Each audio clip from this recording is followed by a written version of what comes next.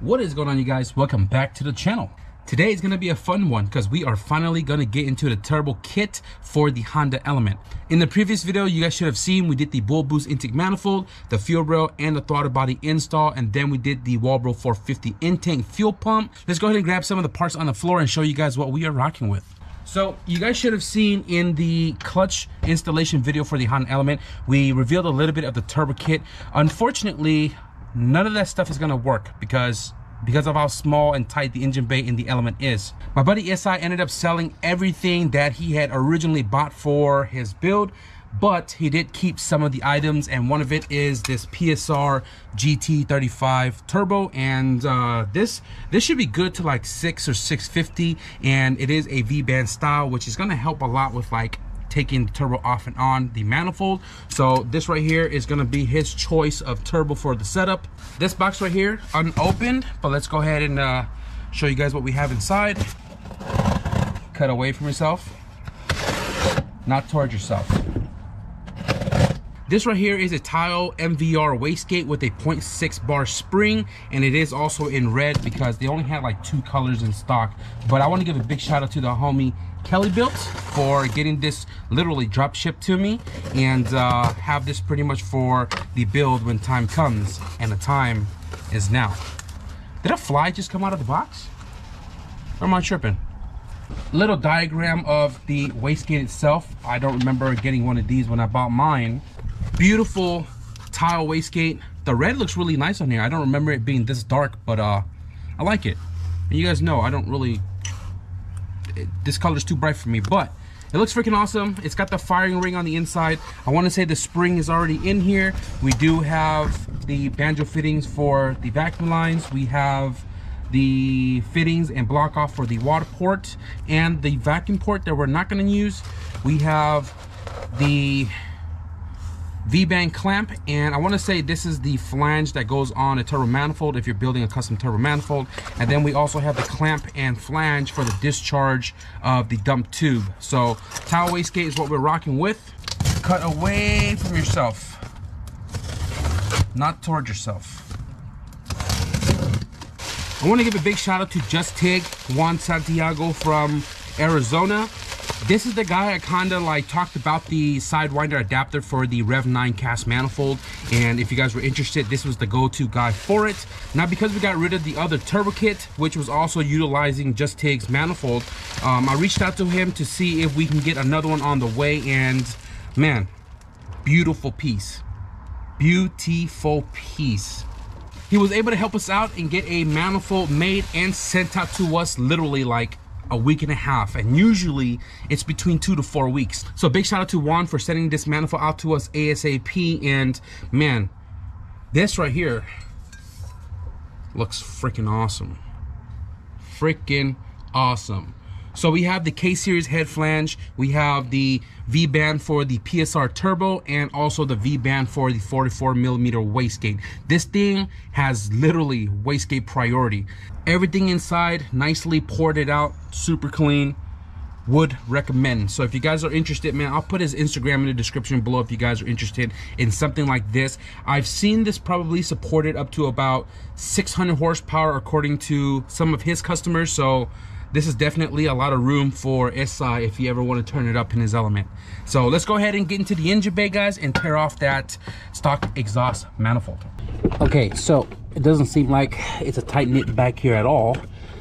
Heat shield, one, two, 12 mil shield comes off.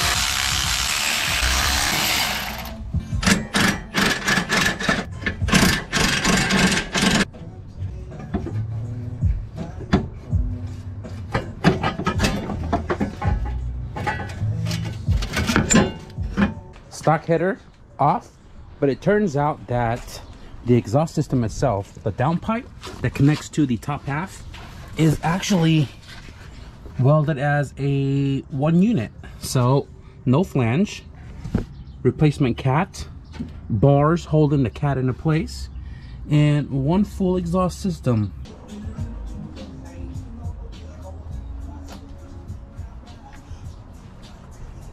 So we're getting ready to put the log manifold on and I think I want to put the wastegate on now just so I don't struggle with um, trying to reach to the back of the engine bay. This is the discharge flange for, again, if you're welding onto a manifold like so, but we're not gonna be using that. Make sure you have the firing ring in the gate before installing it into the manifold. We're gonna point the discharge backward because forward will be over the transmission, backward will be towards the firewall, and this doesn't have a big spring in it, so we don't really have to like try to hold the gate down while trying to put the bolt through. I should be able to just, um, you know, crank it down with just clamping the clamp on. Now we're not gonna fully tighten it down because we still need to kind of like angle the wastegate to figure out what's the best um, position to put it in to make the dump tube. So loose enough that I can still spin it around. Because this is a log top mount and you can see how far it comes out to the driver's side, it looks like we're gonna interfere with all of the uh, I want to say all these bracketries or whatever this is, um, emission control stuff maybe. It looks like we're gonna have to remove all of that before we install the manifold. This looks like something to do with evap and it's already super loose. I'm going to pull that out of the way. I'm gonna figure out what all these hoses and stuff uh, go to to know if we can remove it or not.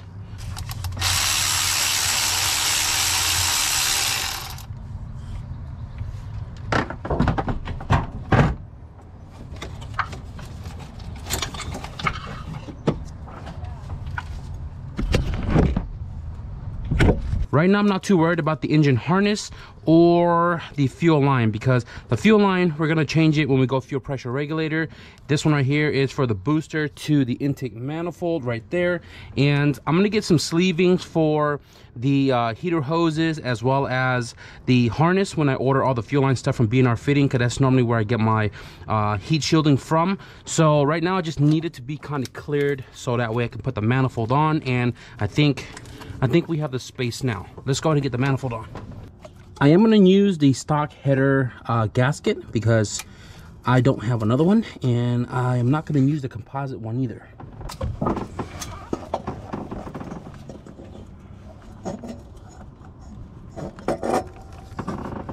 Wow, this thing sits really low. Like really, really low. Looks like we're to have issues with the heater hoses. It's literally resting on it let me go ahead and brainstorm this real quick with the heater hoses and figure out a solution. Okay, guys, man, what a struggle. A struggle indeed, but not really a big deal. So with the heater hose, I had to take off one of the hose right here, which goes to the uh, side of the cylinder head. We have the turbo manifold fully secured down and the gasket is also in place. Now you guys probably saw I pulled out that bracketry that was sitting here and I also took off one sensor with it.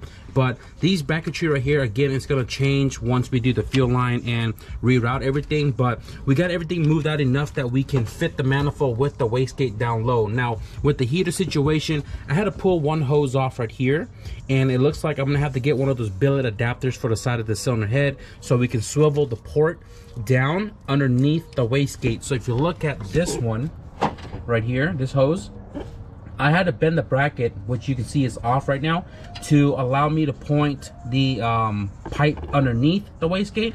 This one is connected and it does have like half an inch between the wastegate and we are gonna heat sleeve it as well too. But as far as this one goes, billet adapter, swivel it down, aim it underneath the wastegate, heat sleeve it, and hopefully uh, this one fits without having to buy a new hose, but if I had to, not a big deal. With the manifold installed, it looks like I have a lot of space for a downpipe and a dump tube. Doesn't look like I'm gonna have to move the power steering hose at all. And uh, I am gonna kind of take off the harness from the plastic loom right here and also this one here to kind of give me a little bit more slack so that way I could pull the harness all the way out so it's not like kind of sitting around the turbo area um, aside from that I think um, I'm gonna go ahead and mock up the turbo itself and kind of see how it fits with everything back here. And with how close everything is gonna be, I'm gonna recommend him to buy a turbo blanket as well.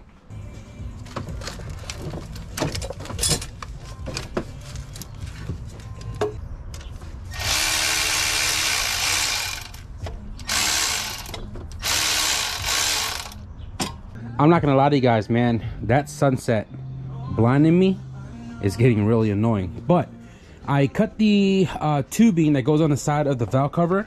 I split the two because we're not using this one anymore and it's just bulky sitting there not doing anything. So this right here, I'm just gonna toss it in the box, you know, just in case ever this thing needs to go back to factory. But um, this tube right here is for the brake booster to intake manifold right here. And what I'm gonna do is I'm gonna space it out so let me show you guys here really quickly. If I if I lay this bracket flat against the valve cover, right?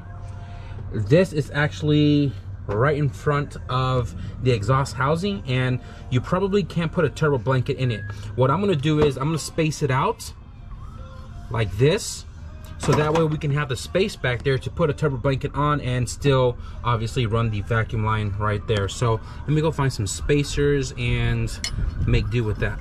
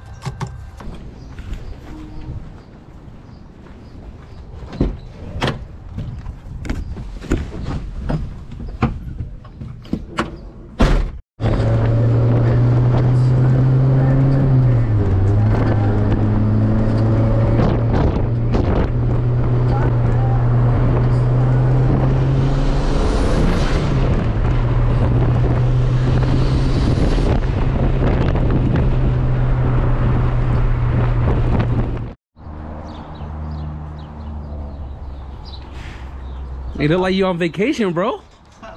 You on vacation or what? Man, I'm gonna sell these only feet content right here, bro. Sheesh. Damn, my boy at work. Look at this.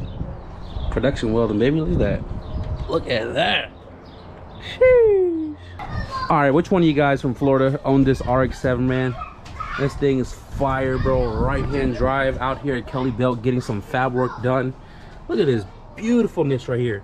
Got some material coming out from Australia, tight bend uh, 45. Getting some charge pipe work, some intake work, some bracketry and all that. And this RX-7 is ready to rock and roll. This thing goes hard. Sheesh. I don't know if I mentioned this to you guys, but uh, I broke my welding machine a couple of days ago. So big shout out to the homie Kel because he is lending me his spare machine. This is your tacking machine, right? Yeah just says tacking machine so you don't have to walk back and forth between workstations to workstation. So i'm to use this for now to tack and if i feel like i'll fully weld but obviously i'm to fully weld anyways but more so if i'm to show it to you guys or not.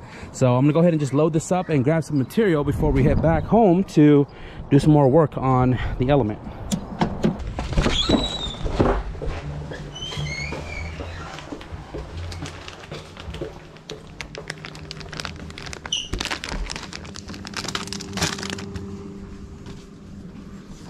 Want to give a big shout out to Brian for B&R Fittings for getting me all the fittings that I needed and also actually delivering it today because he was in town.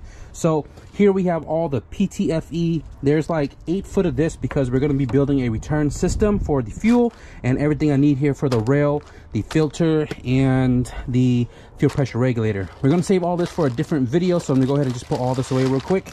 And once more, big shout out to the homie Kel for all the fabrication material I'm gonna need to make the downpipe and the dump tube. This is four foot of three inch tubing, stainless steel. We have a V-band clamp set for the downpipe to the exhaust. We also have the V-band and clamp for the turbo itself right there.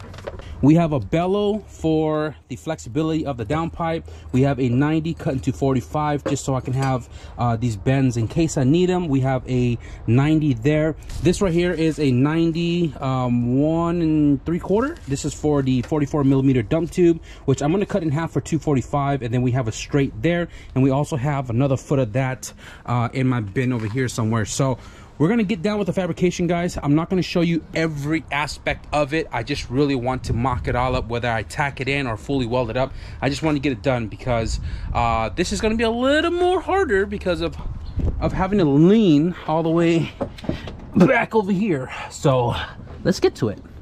I was test fitting some of the pipings I had lying around before actually getting into the cutting to get the angles and stuff that I need. With the long 90 this little short six inch straight and this 45 right here taped together um, this is pretty much to make the top half of the downpipe now i'm not making this downpipe two piece which is typically how k series are because there's a lot of room down there to snake a whole downpipe through and i don't know if you guys can see it but it's literally pointing backwards and towards the floor. So it looks like all i need right here is a straight and a 45 to point backward. I might i might put the flex or the bellow somewhere here before exiting past the subframe. So let me go ahead and tinker with it a little bit more and see what i come up with. Or i should set up the TIG welding machine so i can tack it into place and not have this drop straight to the floor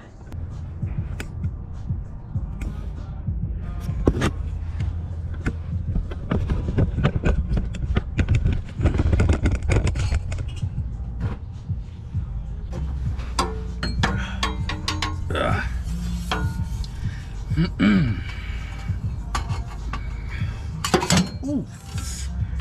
Almost killed myself.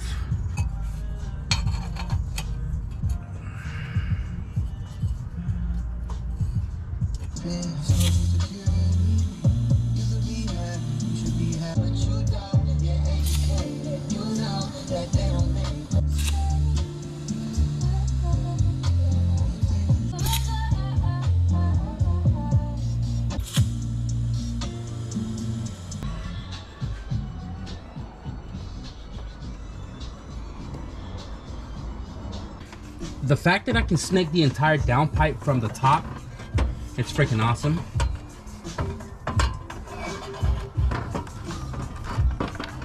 Look at that.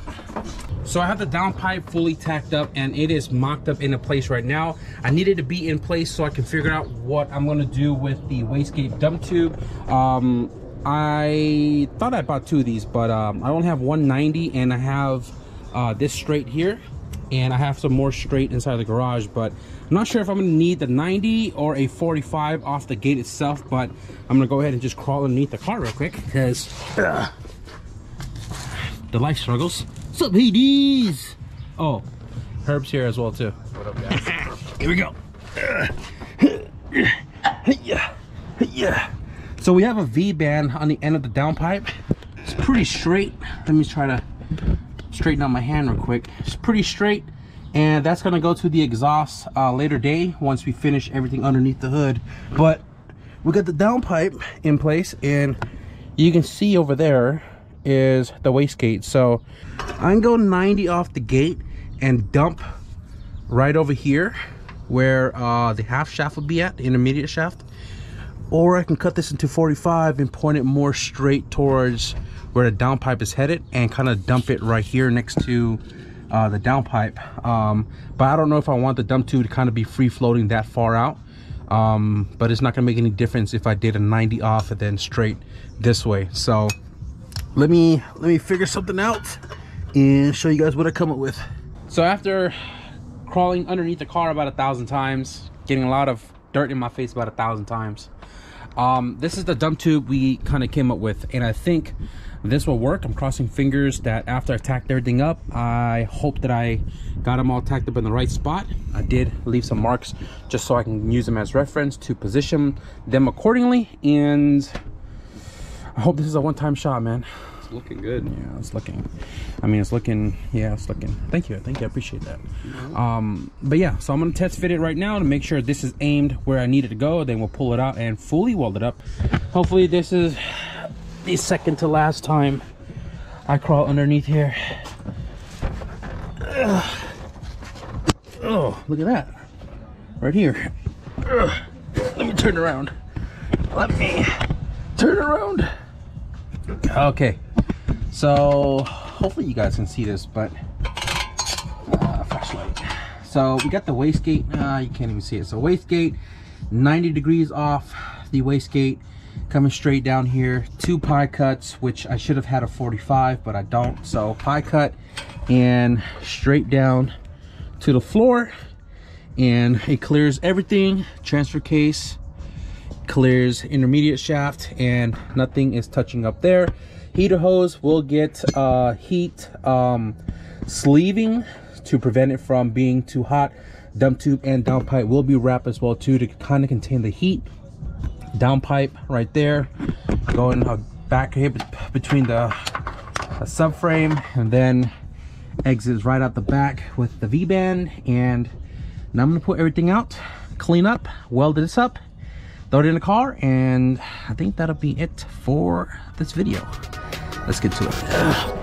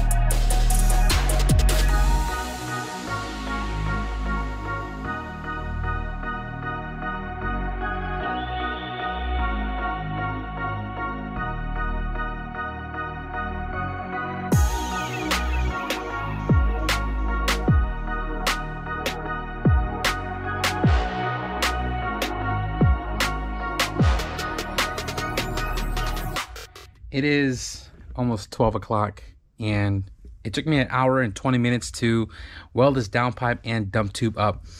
And i must say i think this is probably one of the best welds i've ever done and it's on a machine that's not even mine.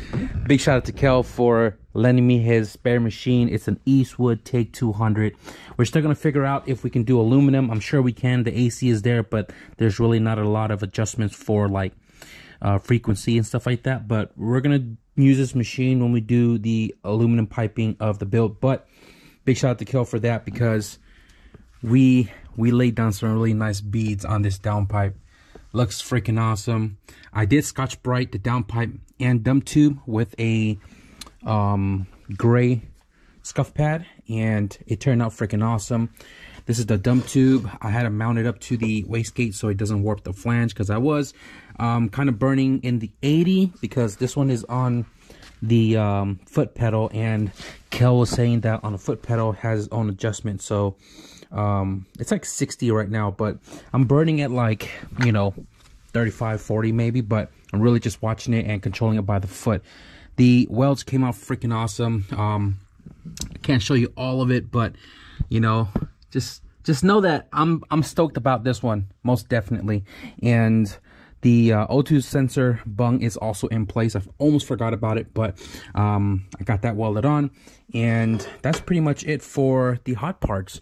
Down pipe 3 inch to a V-band dump tube, uh, open atmosphere. We're not obviously going to recirc this because one, it sounds funkadelic, and two, we don't want to rob any power because K24A4. So we're just trying to make as much as we can on it and, you know, be happy with um, the results. So I think I'm going to wrap up the video. All I really want to do was the hot parts, obviously, and then um, I'm not sure what's next. I don't know if we're going to do the intercooler or if we're going to do the fuel system, but um, just know that we're going to be steady making progress on the element because this this is motivating.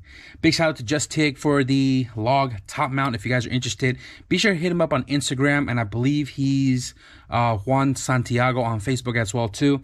And uh, shout out to Kelly Built for the wastegate and for all of the fabrication components. But we are going to wrap up the video right here. If you guys enjoyed this progress update on the Turbo Element build, be sure to leave a thumbs up. And if you guys want to stick around for more progress update on the Turbo Element build, be sure to hit the subscribe button. But with that being said, thank you guys for watching, and I'll see you guys in the next video. Peace.